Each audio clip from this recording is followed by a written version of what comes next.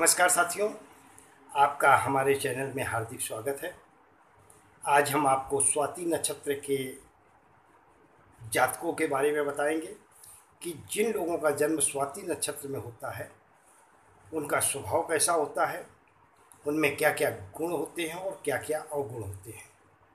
तो साथियों, यदि अभी तक आपने हमारा चैनल सब्सक्राइब नहीं किया है तो प्लीज़ कर लें, ताकि ऐसी ही तमाम वीडियो आपको समय समय पर देखने को मिलती रहे।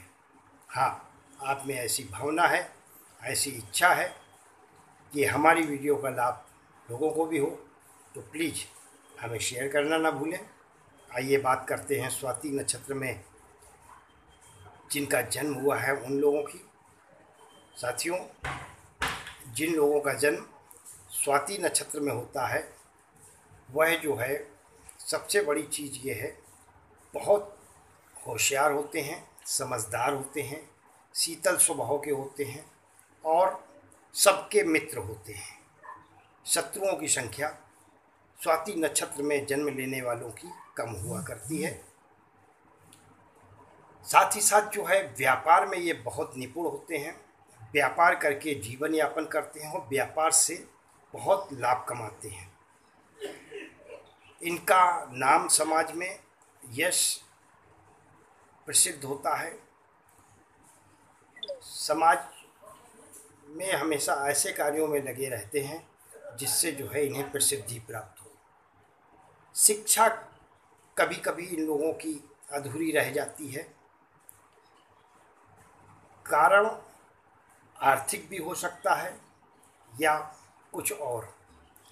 आर्थिक दृष्टि से तो संपन्न होते हैं, लेकिन जो है शिक्षा अधूरी रहने के कारण बीच में बीमारी की वजह से या किसी अन्य कारणों से शिक्षा अधूरी छोड़नी पड़ जाती है। इन्हें जीवन जो है, जाति, समाज, कुटुंब में पूर्ण सम्मान के साथ बीतता है इनका। इनको समाज से बहुत आदर मिलता है, सम्मान मिलता है। जीवन में यह इंजीनियर ओवरशियर होकर भी ईमानदारी से जीवन का निर्वहन करते हैं। परोपकारी बहुत होते हैं, इसमें कोई संदेह नहीं। परोपकार के साथ साथ इनमें दया और की भावना होती है और दानी स्वभाव भी इनका होता है। साधु संतों की सेवा करना, ईश्वर पर विश्वास करना इनका विशेष लक्षण है, विशेष स्वभाव है। साथ ही साथ इनका भाग्योदय जो है, वो तीस से छत्तीस वर्ष की अवस्था में होता है।